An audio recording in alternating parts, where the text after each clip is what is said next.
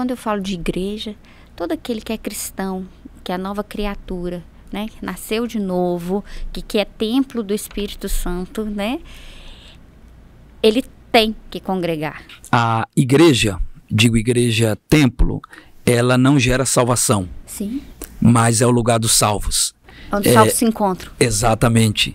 É, quando a obra de Cristo é gerada na minha vida e eu vivencio essa alegria da salvação, eu tenho prazer em estar na casa de Deus. Afinal, eu estou ali em comunhão com os meus irmãos e juntos em comunidade estamos adorando a Deus. Eu gosto muito do povo hebreu, é, de tantos salmos que há. Um dos tais é o cântico, né, ou os cânticos das peregrinações.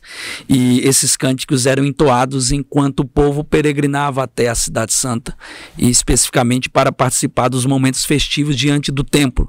É, o templo, na mentalidade do povo hebreu, é, não está somente no centro de Jerusalém, mas está no centro da espiritualidade do povo. Então o povo tinha como alegria, como prazer em estar diante do templo para participar de momentos festivos. E eu penso que essa herança, ela foi herdada pelo povo cristão.